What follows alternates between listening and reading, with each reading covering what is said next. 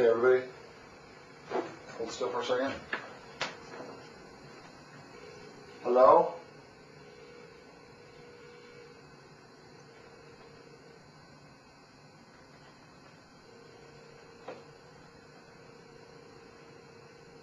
Can you talk to us?